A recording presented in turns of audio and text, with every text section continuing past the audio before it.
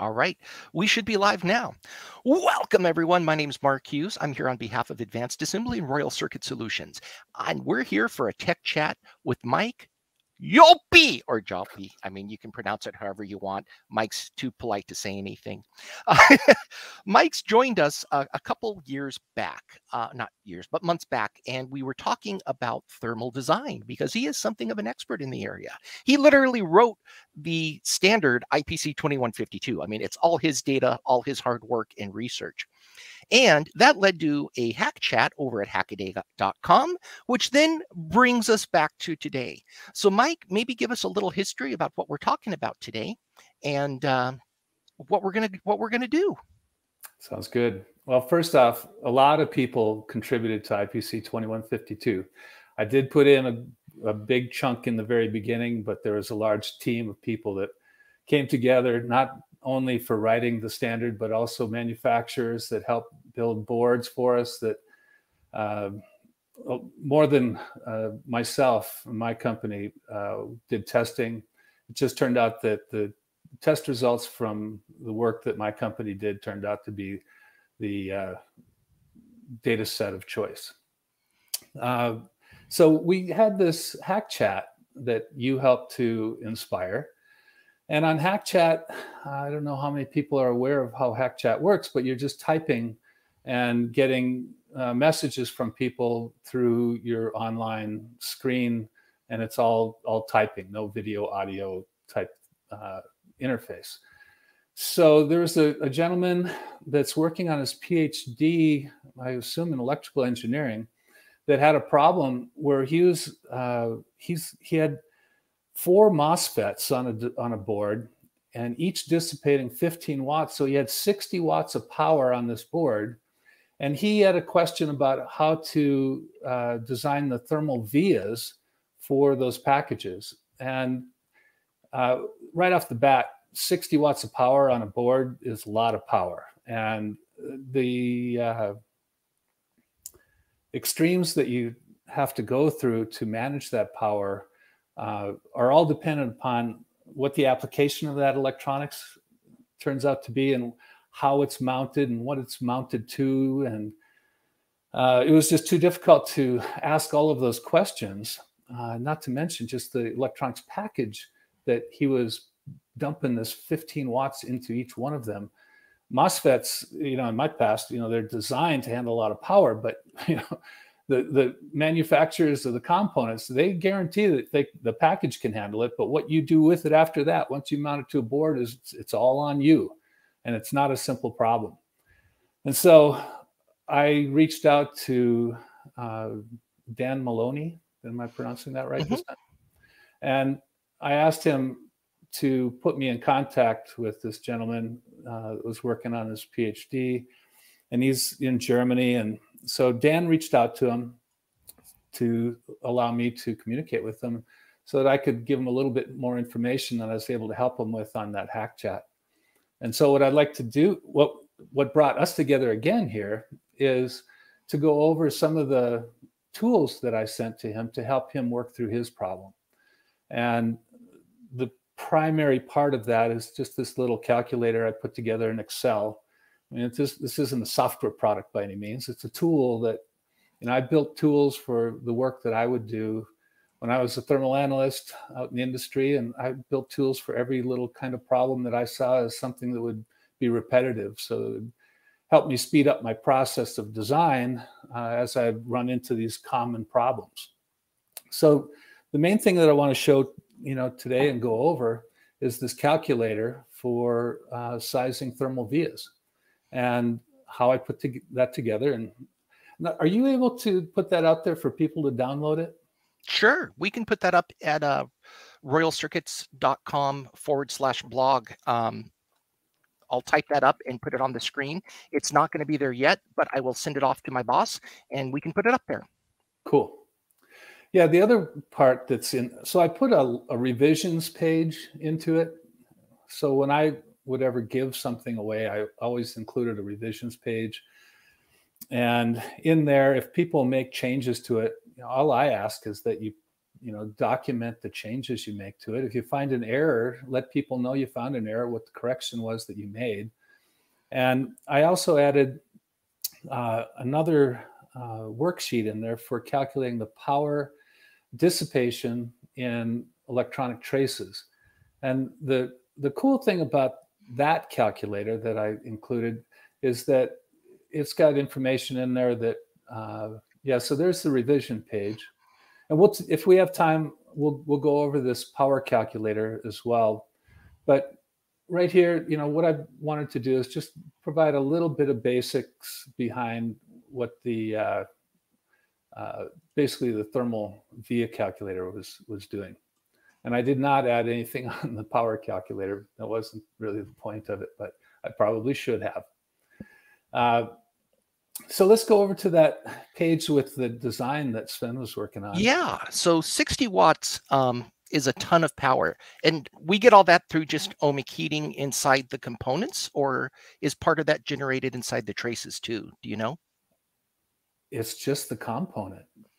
Wow. Yeah, that's the part that, and so one of the things that I brought up with Sven was that he, he needs to consider the losses in the conductors as well and you can see, I, I you know, I, I, we didn't go over his design, but I look at this uh, little picture here, and what it's just a, a small little screenshot of the design. And those white spaces that I put up there, those mm-hmm. four little white blocks, are are the outlines of the the FETs, the MOSFETs.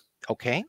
And those MOSFETs, I'm surprised at how small a package is are, are made these days for handling this kind of power. It's just incredible to me that you can put this much power in this size package. And that package outline is six millimeters by five millimeters. And so for, for me, I have to convert that over to English units. And that's 0.2 inches by 0.24 inches.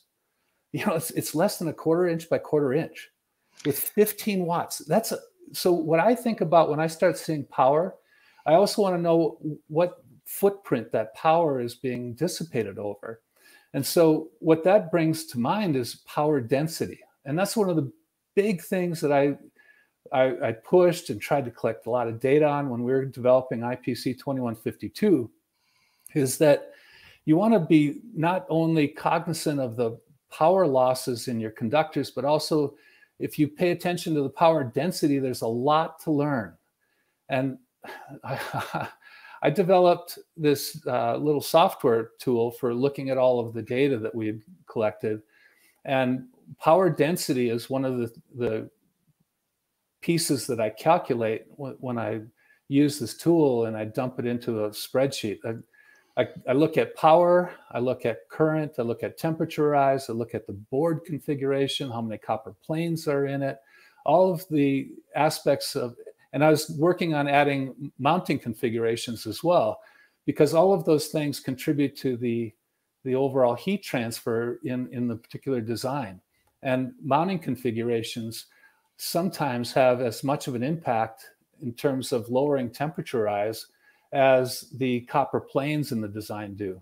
Hmm. So looking at this board here, those four spots, they are so close together. Considering that those squares are 0.2 by 0.24 inches square, that means that they, they aren't any more than you know 0.24 inches apart and the on the large dimension and and closer that maybe a tenth of an inch or less you know from side to side so you're not looking at 15 watts of power. You're looking at 60 watts of power in a very small area.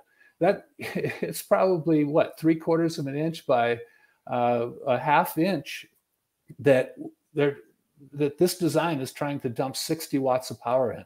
So, so something that, the size of a of a quarter. Yeah, 60 watts. And it, it just that gets exciting for me. I love solving problems like this. so, Mike, let me let me ask you real quick. Um, you've got a different threshold from most engineers because you deal with space or you've worked with space systems. But at what point should my spidey senses start tingling? Um, at what power density? You know, do I need to start stopping what I'm doing and really start considering my power budget? Not my power, but my thermal. There's one more webinar I'd like to do with you, and that's to look at this calculator that I put together for looking at trace heating. Okay. And with that, we can get a, a sense of those kind of numbers because okay. it, it's too hard to throw out one number because everybody's design is different. The size of the boards are different. I was at a conference once, some guy came up to me and talked to me about a top secret design he was working on.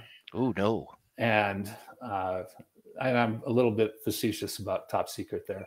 Uh, but he was working for an industry uh, company that was, uh, so the way he described the problem is a one inch cube. And he was going to be dissipating about a watt of power in that one inch cube. And I said, Well, where's the energy going to go? And he goes, Well, I don't know. And I said, well, if it's all by itself and it's dissipating one watt of power, it could just go to an infinite temperature with no energy loss. So you can't have energy in, you got to have energy out, and you have to understand what that energy out is. And he couldn't describe it well enough for, for me to really help him. And I said, well, you just got to treat it as a, a control volume, and you got to look at where how the energy can get out of that little system, and then you can from there start to determine what kind of a temperature rise you have on your electronics. Well, in hindsight now, after time has passed and you see these little uh, plugins that you uh, plug into your wall socket and you put in your charger, you know, plug in, charge your phone. I think that's what they were. And in that case, had you been able to talk about it more, you've got a really good heat transfer path out of that little that cube to the wall socket which is tied to copper wires that conduct that energy back through. And so that's the big heat sink in that design. That makes a lot of sense, Mike. Yeah, and it also makes a lot of sense that the engineers for a lot of these, you know, famous companies, you know, the Apples, the Teslas, the SpaceX, they never want you to know what they're doing or who they're working for. Their bosses have scared them so much that they can't ask the right questions. Yeah, and they they're they're afraid of IP concerns and losing their IP because people pick up on it so fast and they run with it so fast. It's amazing the development that can occur in a short period of time. True. And that and then it's their jobs that are on the hook. So I yeah. I don't slight them for it, but you can only help so much when you have limited information. Information. Yeah, absolutely. So back to these, you know, if you look at those white areas, mm-hmm. uh, I don't know if you can see underneath them. There's like, I th- looks like six vias underneath. I can. You know, and, and yeah, so I, I, think those were the thermal vias that he had put into the design. So he had six uh, under each package, and then an, an, additional six there, kind of in the middle, off to the left. Yeah, those guys. Okay. Yeah. And so what I'd like to do is just look at how I put together a calculation for the thermal resistance in the thermal via. Sure. And then, you know, work that problem a little bit further and show how I worked through this to help uh, Sven just kind of think about a few other items in his design. Okay, so we've got 24, 30 vias in an area the size of a quarter, essentially, a little yeah. bigger, little bigger. Yeah. Um, okay, so would you like me to pull up the next spreadsheet? Yeah, let's go to the calculator. All right. I know initially we wanted you driving today, but uh, Technology just didn't want that to happen. That's all right. All right. So, so this is the spreadsheet that we will make available to people after the webinar. Cool. Now, I've, I've just thrown in some theoretical numbers. Uh, and what people are looking at here is on the left-hand side are the material properties. I'm just using copper. Uh, I've got the thermal conductivity of FR4, polyimide, and an epoxy fill. And uh, I'm in in the calculations, we can. Uh, I believe I'm just working with FR4, and then down below that, I make the note that there's no radiation or convective losses, uh, with one exception. There's a, and we'll we'll talk about that. So here the goal is to have 15 watts of power. The next line down under power is a junction to case. So the junction to case thermal resistance, there were actually two values for these MOSFETs, uh, 0.5 degrees C per watt and 0.9 degrees C per watt. And I've never, you know, it said typical for the typical is 0.5, but it could be as high as 0.9. And in design, you have to go with the worst numbers. You can you can look at it and start weighing decisions by looking at what the typical values are, but you wouldn't want to start there. And then the next line down is the case to board thermal resistance.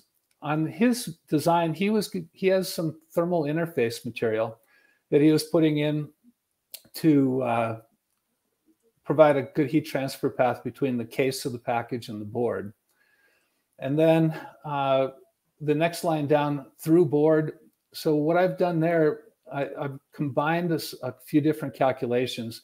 That's actually, and I'll, I'll talk about that when we get a little further along, but it's basically looking at the thermal vias and the board material.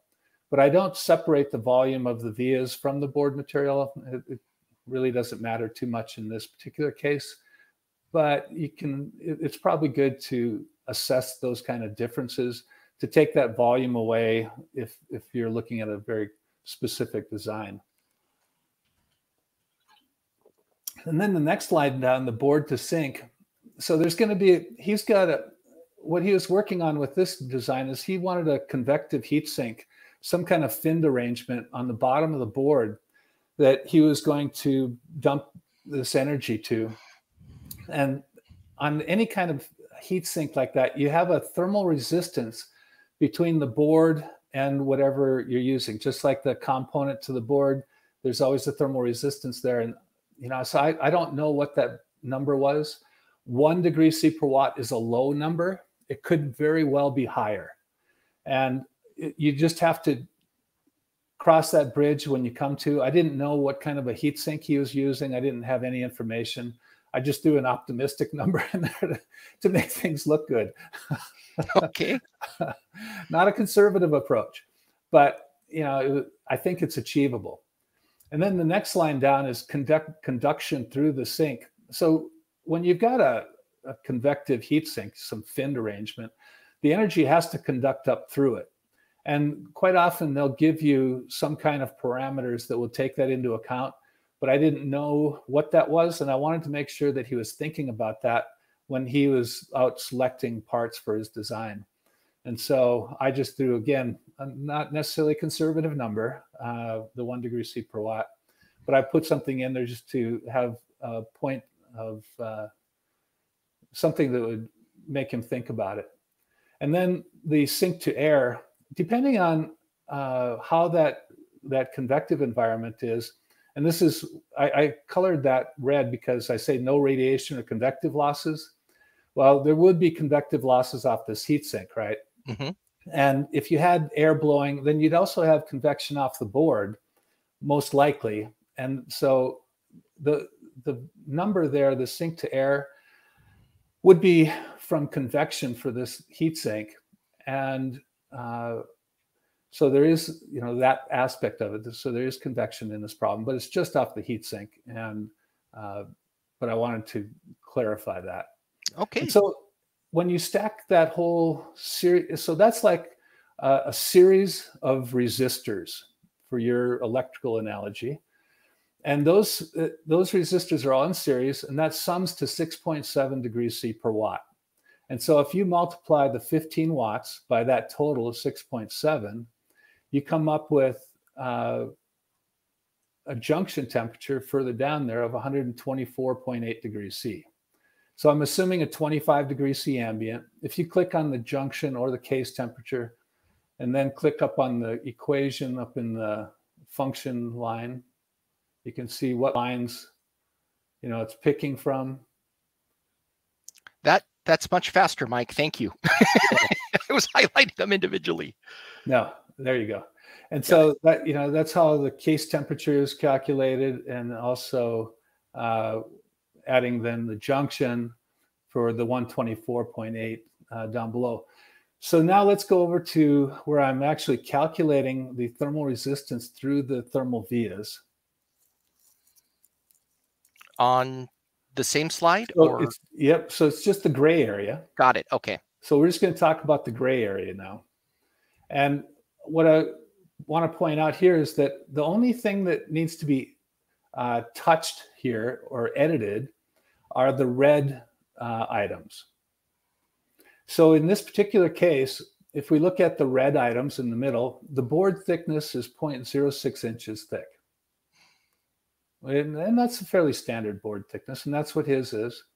And then I just picked an arbitrary uh, 10 mils for the outer diameter of the via.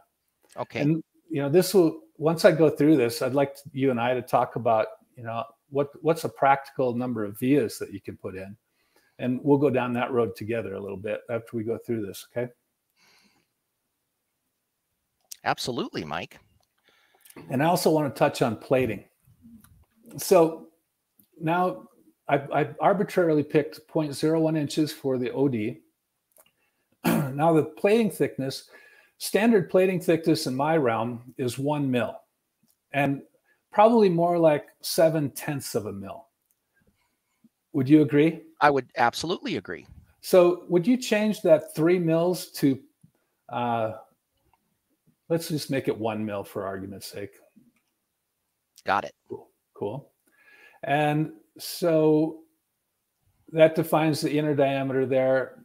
And also the number of vias. Let's knock that number of vias. What did we see over there? There was Uh, about 30. There were 30. Let's change that to 30. Okay.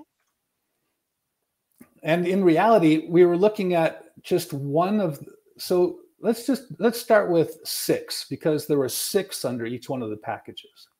Got it. All right.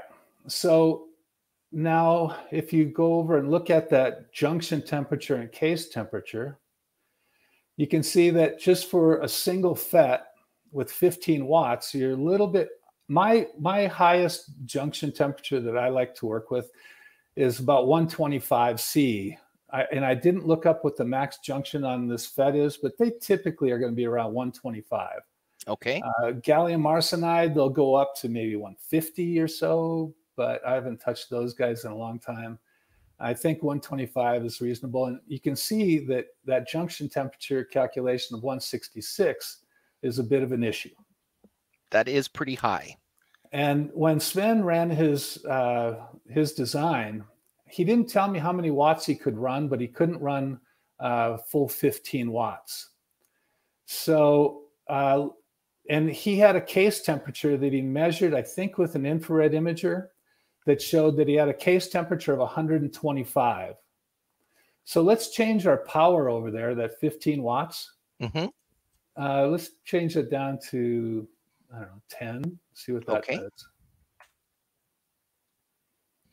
Now, the, the thing is, I'm calculating the case temperature below the chip.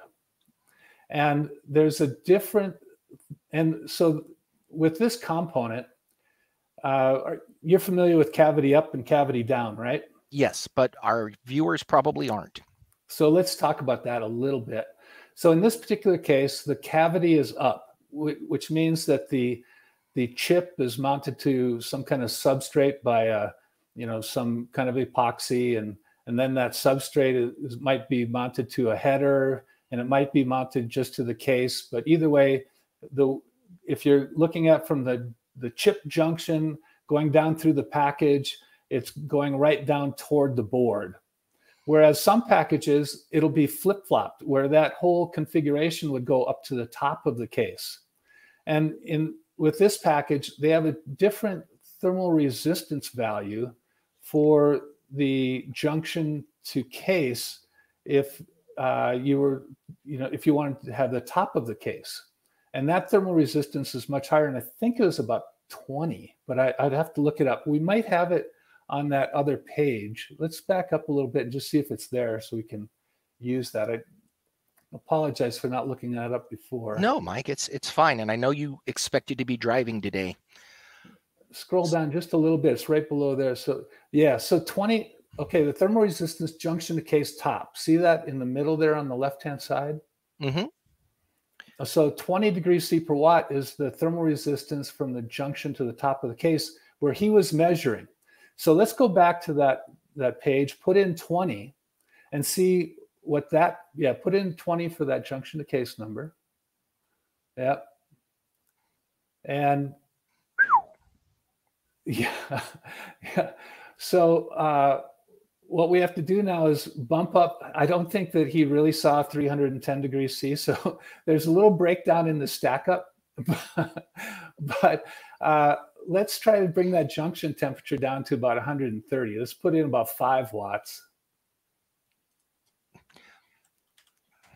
Thermal runaway, anyone?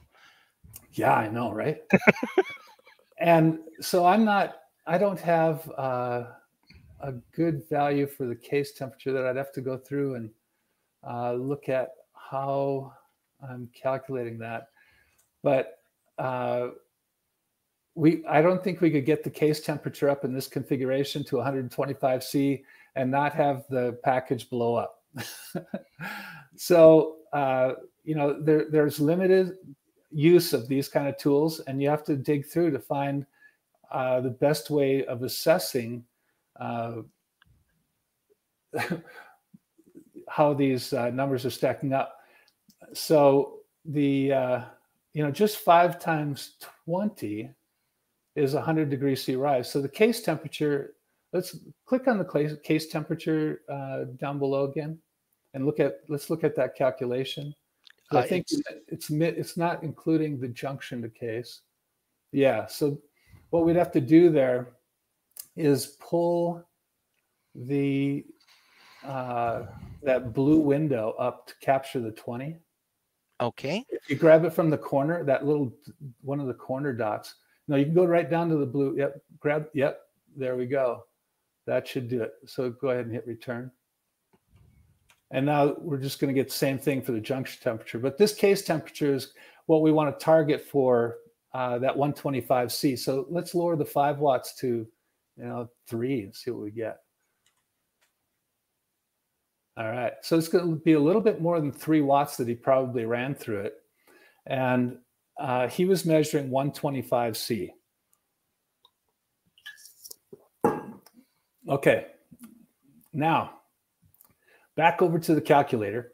So we've we've got the the vias defined. We've got one mil of uh, plating in the via, and so the calculation for a single via, if you move your cursor to the left just a little bit, and over in the gray area, you've got the single via R. That's mm-hmm. that's the thermal resistance for a single via with the uh, one mil of plating in it. And then down below, I do a calculation to calculate what the uh, thermal resistance, because all of these thermal vias are uh, in parallel with each other. And so they all add up. So with six vias, that 217 watts with six vias, it goes drops the thermal resistance through the board to 36 degrees C per watt. Okay. Mm-hmm. And what, and so that's the basic calculation just for the thermal vias. Now, if so, I don't like to just neglect the board, the, the thermal resistance in the board. And I'm only using the thermal resistance of the dielectric material.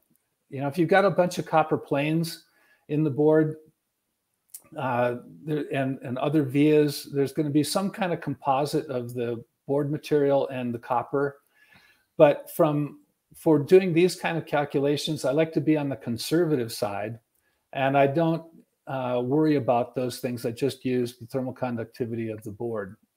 And so if you look down and then to the right, there's one more red uh, area that two, so that two inches is that two square inches is the area of the board that I'm assuming that we've got uh, the thermal vias populated over.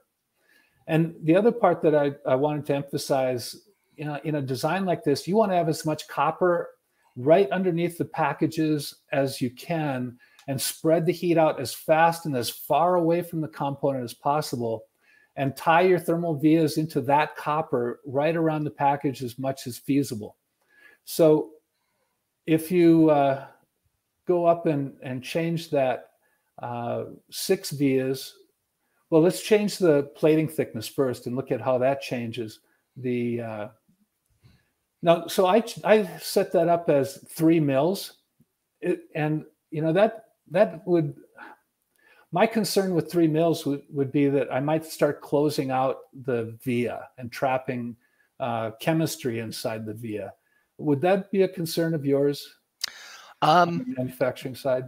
Not so much now with pulse plating. Um, it it certainly can be a concern, but I've also seen via samples where you know we close. I mean, we plate those things solid shut, um, and you do the cross sections, and they look clear. There's not a whole lot of voiding in there anymore, like it used to be in earlier years.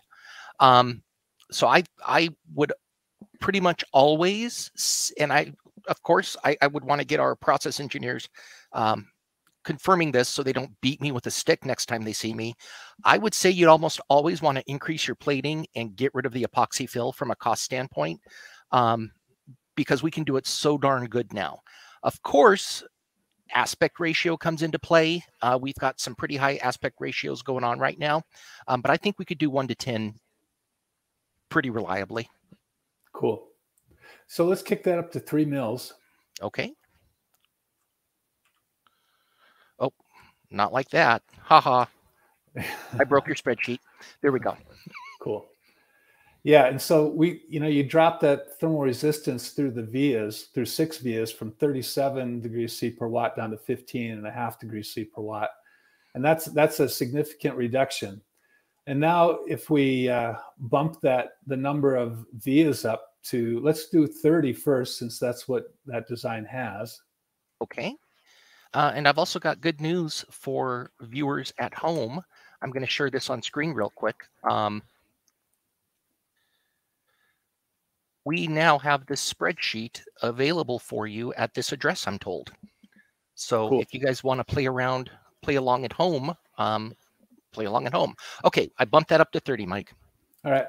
And let's go over to the, the calculations part. Let's point put the junction to case back at 0.9. And also uh, scroll down a little bit and let's change that calculation so it's not picking up for the case temperature. Let's set the case temperature back to the way it was.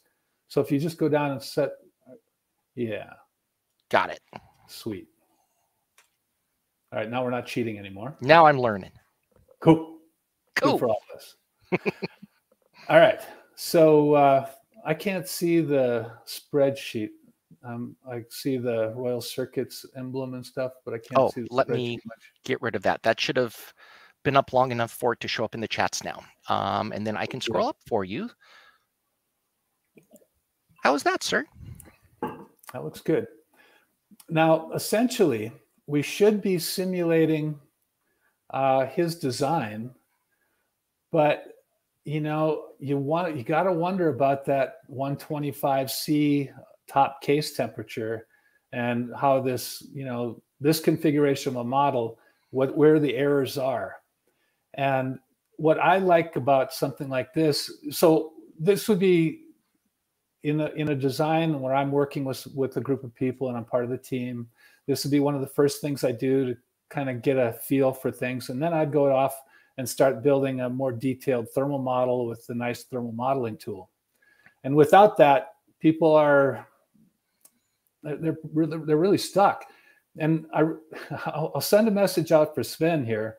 His uh, if he's an electrical engineering uh, group uh, or a department at the university, I highly recommend them teaming with the mechanical engineering department and getting one of their thermal people involved because both people will, will gain a lot from it and they'll be able to have a higher success rate for the next spin that he makes on this design. Um, so let's dump, you know, let's go up and push that three watts up to 15 watts. Sorry. Um, here. Yep because I, you know, it, it's so hard to have all the disciplines under your belt, right? Yeah. It, I feel for, you know, there was a time period when I first started working that uh, the groups that I was working in, they wanted to have the thermal analysts also be stress analysts.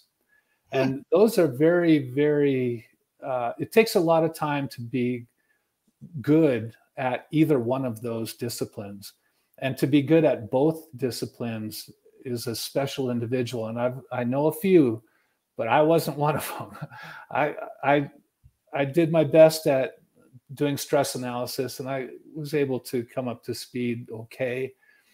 But to try and and meet the design uh, goals in terms of schedule to do both disciplines, you have to take shortcuts. Is really what comes down to, and I, I that's, I that's a tough world when you have to start taking a lot of shortcuts. I remember thermodynamics in college. Um, not that many people passed.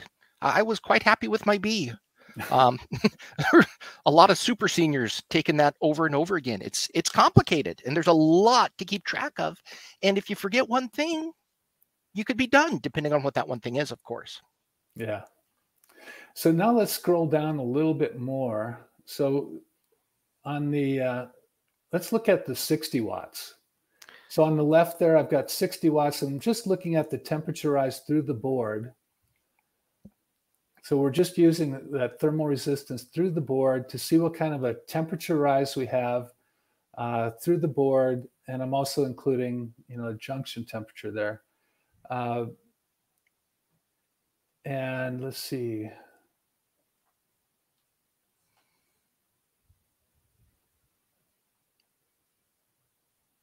I'm a little confused about that one. All right. That's okay. It's click thermodynamics. On the, click on the sum total, 1.7 okay. there. Uh, uh, the sum total here? Yeah. Let's see what that's looking at here. Okay. So it's just the 1.73, and that's just the board. So the case temperature and junction temperature don't mean anything there. It's just the temperature rise through the board is what we're looking at. So if you go down to case temperature and you look at what that's looking at, let's see, click up on top. Yeah, so it's just using, uh, you know, temperature above ambient and it's just the temperature rise across the board with 60 watts. So the uh, the goal here is just to see what the temperature rise across just the board is with the full power of 60 watts and try to see what you know some more vias would do to try and bring that delta t down 130 degrees c across the board is not going to be an acceptable temperature rise and you know fortunately with this these mosfets they've got a very small junction to case thermal resistance and so we really have to get what that's what that MOSFET's mounted to. We need to get that temperature down. And you know, there at this point, there'd also be a lot of work looking at what kind of a heat sink is on the back of the board and how that's going to be mounted. But you know, for the point of talking about thermal vias, let's bump that 30 thermal vias up to 100. Wow. Okay. Yeah, a lot of your um, glass transition temperatures uh, for you know, if you go get a run of the mill cheap FR4, you know, you're looking at about 140 C. Uh, so if we've got 120 above 25, you're there. You're melting, you're decomposing your glass fibers. I mean, board's all floppy. yeah, not a configuration you want to design to. No, floppy floppy boards are out this year. Who knew? Yeah. yeah so you know there there's you're starting to get that delta t down but you know at some point there's only so much you can do for the kind of power that is you know trying to be designed to here. 60 watts is just a significant amount of power to design for. And they're they're by using a spreadsheet like this i guess it just helps you uh, start thinking about where your bottlenecks are and you know what you can do about it. So now, you know, talking about thermal vias, oh, I'd like to get back to what I was asking you. What's a practical, you know, I'm both from your manufacturing background and your electrical background, Mark. Uh, what's practical for getting a population of, say, 100 thermal vias at 10 mil diameter in a particular area? Well, it's in two square, I mean, in two square inches, it's doable. Um, you start running into upcharges though. Um, anytime that you have to do a, a, drill hit, that drill can sometimes wander and twist. So you can't always stack them, you know, one next to the other. You've got to put a little bit of separation distance in. Um, I forget the exact number, but our small, okay, so let, let me back up a little bit. Typically, you don't want to have an aspect ratio greater than 10 to 1. So if we've got a 63 mil board, as you mentioned here, um, you know, our smallest drill hole would be 6.3 um, mil. They don't really come in that diameter. Uh, typically, the drills come in increments of 0.05 millimeters. But if you order a let's just stick with the, the English units for a minute, a 6.3 mil via hole, what we do then is we over drill it and then we plate it down to that size, right? So we're not going to drill a 6.3 and then plate it down to a 4.2. We're going to drill, you know, a seven mil and then plate it down to a uh, a 6.3 um, or whatever the metric equivalents would be. I, I don't know them off the top of my thing. So you've got to keep those drills spaced at whatever your your manufacturer minimums are. I'm sure we could we could get you know a 10 by 10 and two inches without much difficulty. But my next question would be on the assembly side. Um, how much of the solder paste is going to start wicking down into those holes? right? Um, if you leave open open via holes and you put solder paste on that, it just capillary action plus gravity is just going to suck that solder in away from your part, and you're going to end up with an air gap between your uh, your pad and your your your land pad and your part pad. And air is an incredible insulator, right? Great insulator. Um, so then we're going to have to talk in a second about how you would coat those, how you would cover them. But I'm going back to something I remember uh, from, I want to say J Standard 01, or it might be in 600A, I don't remember. Um, but you can have as much as 50% voiding from land pad to part pad and still consider that part acceptable. What would that do to our thermal resistance, Mike? So explain that that part one more time. Okay, so if you have a bunch of holes that the solder paste can wick into, you can get air voids between yeah. the part pad and the land pad. And as long as there's less than 50% voiding, so as long as there's a, a 50% connection between the land pad and the part pad, then we would call that acceptable from an assembly standpoint. What would that do to our numbers on this worksheet? Wouldn't that? Well, the via for the thermal via, or through... not for the thermal via, but for the, um, I guess that would be your case to board number. Would double it at least, wouldn't it? Well, the case to board number is based on the area of the package size itself, and he's got a a thermal pad between the package and the board. So that would fill over all of the any kind of interface, any kind of surface roughness or anything be, on the board side and between the board and the component. Just fills in all the gaps. I will bring up a graphic um, just to show you the people what we're talking about. Um, so, anyways, back to your question: Can we drill the holes? Yeah, we can drill the holes. Um, but if you start doing this a lot you know, and you're doing this over your whole panel, you could start looking at upcharges from your fabricator. Um, you know, more drills, more wear, um, more wear, and you know they've got to replace them more often, more chance of breaking a drill off in the board, having to chuck the panel if they can't get it back out. There's a lot of considerations. I'm yeah. Well, the other the other concern that uh, I think about is the Swiss cheese effect that will occur in your yeah. big uh, copper conductors coming in to feed those FETs. Uh, so that has to be managed as well. But yeah, you could start getting uh, barrel wall failures and all sorts of stuff. Yeah. But you got to get it thermally to where it needs to be to work. So it's always a happy medium between all the different disciplines. So it seems then, what if we did a slightly larger diameter hole with more plating? Um, would that be one of, something you recommend? Well, that's the fun part. That's why the the tools here for people to go in and make those kind of changes and see how that affects the end result, and then do more homework on some of those uh, areas that you know I, I don't know what the design has for numbers like the sink to air and the conduction through the sink. uh, put real numbers in, and then just experiment with the number of vias and look at how the calculations are made so that you can make this a tool for yourself.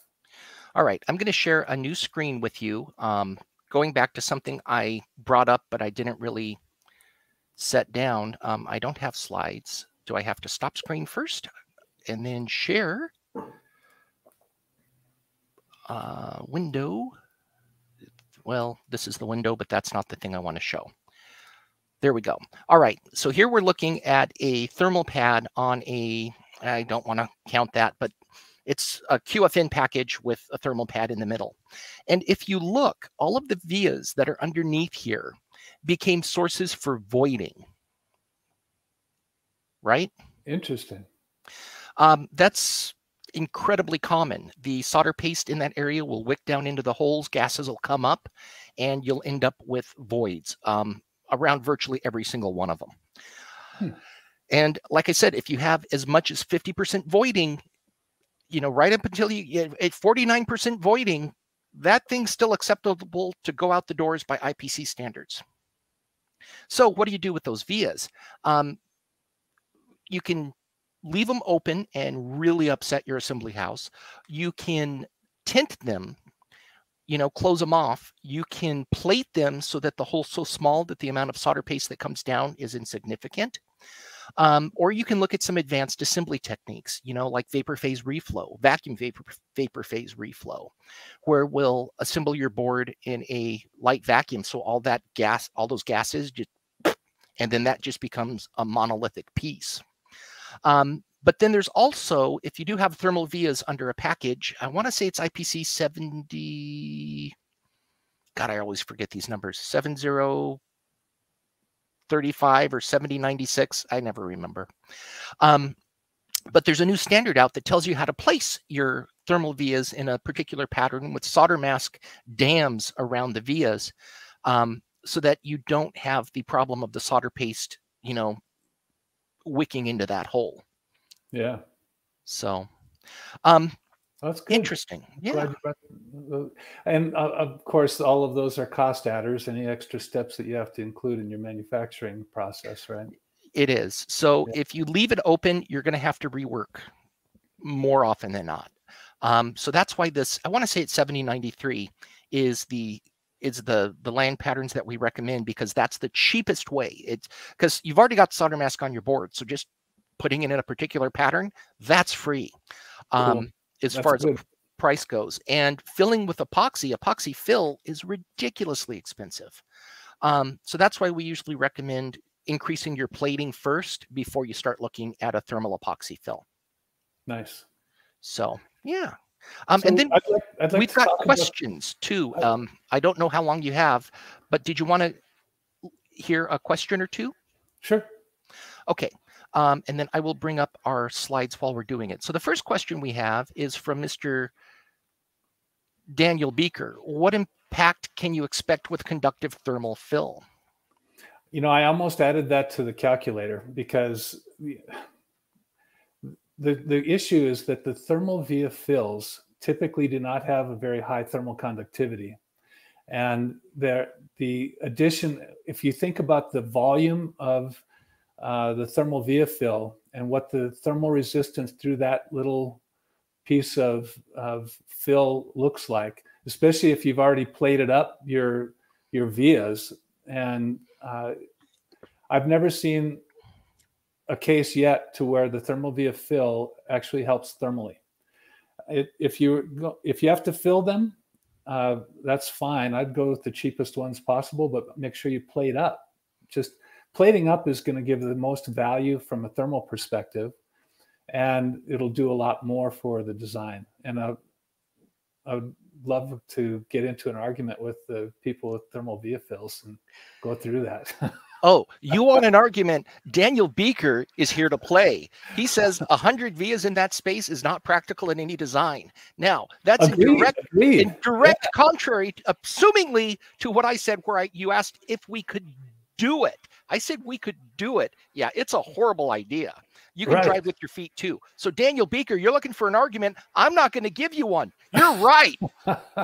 yeah, well, and that's the point of these first steps is to look at what's practical. If you need 100 thermal vias and it's not a doable thing, well, maybe we start looking at some other solutions.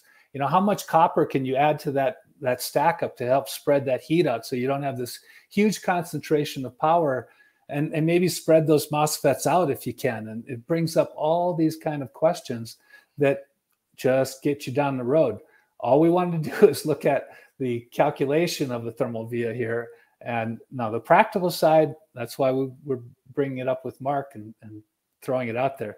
You know, there's first steps in the design, you know, and one first step in this particular case is can we do 60 watts of power on all these MOSFETs? And the first look is, well, not very easy. And it's not a simple problem. It needs to be worked and uh, every, one step at a time. Yeah.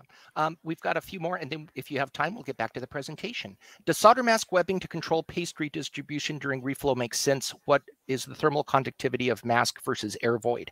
Okay, um, great questions. So does it make sense? Yes, it does. And that's, I, I, hopefully somebody in the comments that knows the IPC standards off the top of their head can tell me which one, because I hate to keep saying the, the same number if it's wrong. But yes, that's what you're doing. Um, with the liquid solder masks, you know, we can do webbing down to two, three mils. As long as you have a solder dam, it repels the, the liquid solder paste and it can keep it in the areas that you want it to. So you want those solder dams around, you know, uh, vias in pads, vias near pads. You don't, you don't want that. Um, so, but the question is, what's the thermal conductivity of mask versus air? Do you happen to know those numbers off the top of your head? I don't. No, but I've got a general feel for them. You know, thermal conductivity air is about an order of magnitude worse than the dielectric materials. And, you know, solder mask is probably similar to the board dielectric materials, not orders of magnitude different or anything. So, you know, they're all they're all poor conductors and air is, you know, a real poor conductor uh, order of magnitude probably different than than the thermal conductivity of of the board dielectric materials. And thermal conductivity of board dielectric materials are in the order of what about 0.4 watts per meter Kelvin? Yeah, 0.3. You know, I've got some numbers on on the spreadsheet there that uh, I have. The numbers that I included are measured values that came from some of the work that we did with IPC 2152. We had polyimide boards and we had uh, two different FR4 boards. We had the thermal conductivity measured for each of them. And what you typically get for thermal properties with dielectric materials is the z-axis thermal conductivity. They don't go and measure the x and y because you've got you know different uh, materials that are making up the different boards, and so you've got different size materials that are in the weave. And so in the calculator, if you go to that, if you go to the right, I think I included it on this page.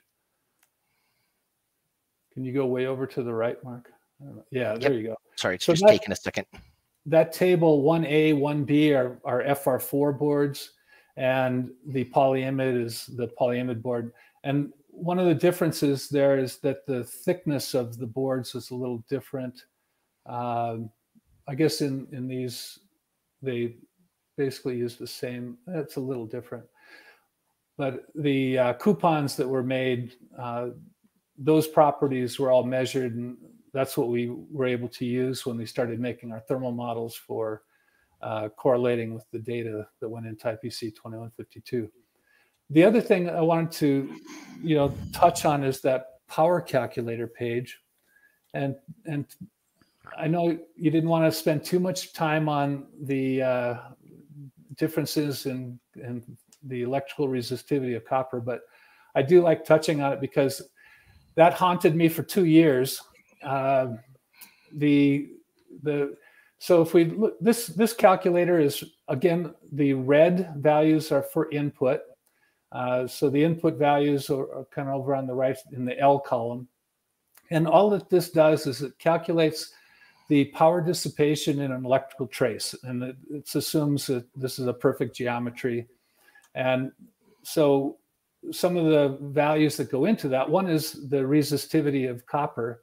And the, the three values that are included up on the upper left there, the resistivity values, the first one comes from the CRC Handbook of Chemistry and Physics, which I thought would have been a great value for using to calculate the you know, thermal resistance in a copper trace. But it turns out that that's a very pure copper. And the next two values, and this it's a little strange at first, but uh, the first value there is for half ounce copper, and then the next one down is for one ounce copper and greater. And those values come out of uh, a particular test method, which is an IPC test method 650, 2.5, 0.4, and that's actually 0.1a. And those values were determined by measurement by the National Bureau of Standards back in the 50s when they did their original testing. And those values gave me just the most perfect uh, correlation when I was looking at uh, trace resistance. And when I was looking at trace resistance, I was also looking at the trace cross sectional area. And these values gave me a, a, just a perfect, almost perfect correlation between the trace cross sectional area, which we had cut up and measured, uh, to to our so calculating and then measured those values uh, gave us a very high uh, correlation between the test traces that we we were working with when we were doing all the test data collection for IPC 2152. And I highly recommend those those two values in there. And uh, the point here of this this calculator is just to calculate the uh, power at a given temperature. So if you look at applying current to a trace, and if you look at measuring its resistance with just low current, uh, something where you're not really heating the trace, it'll have a certain resistance. Well, when you start kicking up the amperage and the trace starts to heat up, then the resistance changes and you have higher power at the you know steady state temperature that you're at in in its actual use so if you have a board that it's operating at you know say 85 degrees c which would be kind of an average board temperature for a lot of the designs that i used to work on the uh, it, it's important to assess what the power at temperature is at you know when it's under use and not just estimating power, you know, at a ambient temperature uh, for the trace. So uh, this calculator you have to play around with a little bit, but it all it includes the trace length. So right now it's set at you know a half an inch wide. If you look up uh, at column L, half inch wide, it's five inches long, uh, two ounce copper, I, have got it set assuming that one ounce copper is uh, 1.35 mils, but my, under, my experience is that copper, you know, one ounce copper is more like about 1.2 mils, maybe a little bit. And, uh, you know, if you look at the IPC minimums, trace uh, thicknesses can be significantly lower. And so it's worth playing around with the copper thickness a little bit. And then uh, this just calculates a, a, a, delta T for the uh, using, let's see, there's an ambient. If you click on that one, click on that uh, 108 degrees C and then go. So, okay, so that's just hardwired in. Yeah. So it's just being used to calculate the change in power. That's where I would set that maybe uh, 85C and uh, see what the power for the trace would be, you know, if you're running high current. So this is not calculating temperatures, it's just calculating the power in the trace at temperature. And it looks like we're about two minutes out from close. So I just wanted to bring those things up and uh, let people play around with it. All right. Uh, do you have time for a couple more comments or questions? Sure. Okay, so uh, going back to before we we came up, we were talking with Dan, and he said so. There's no real good return on investment for thermal fill. Better to plate up. I would agree. I think I heard you say you would agree too, right? I, absolutely. Yeah.